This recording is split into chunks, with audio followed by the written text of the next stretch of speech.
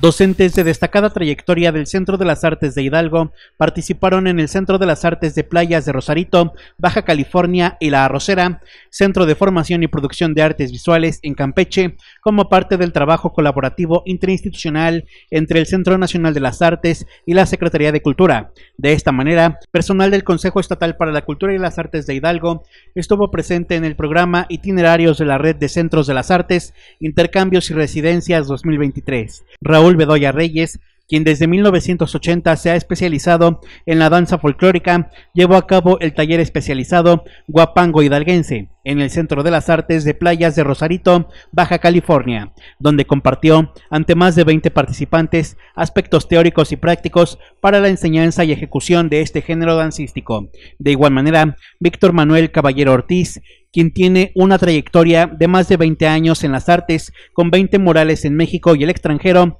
así como más de 10 exposiciones individuales de pintura, grabado y escultura, compartió a artistas de Campeche y de otras entidades técnicas como veladuras y pincel seco en el taller especializado Pintura al óleo, técnica y experimentación. En ese sentido, la titular de la Secretaría de Cultura, Tania Mesa Escorza, destacó que la plantilla de docentes del Centro de las Artes de Hidalgo logró esta participación por su extraordinario profesionalismo en sus respectivas áreas. Mesa Escorza reconoció también el trabajo realizado en Seculta a cargo de Diana Rangel Zúñiga, ya que el Centro de las Artes también fue sede en meses pasados del Seminario de Literatura Paisajes Hispanistas, impartido por Claudia Cabrera Espinosa. Mirna Yanira García Vargas y Dania Berenice Montes Escorza, el cual fue diseñado para ofrecer elementos que permitieron a las y los participantes reflexionar en torno a la literatura hispanoamericana y benefició de manera gratuita a escritoras y escritores hidalguenses en formación.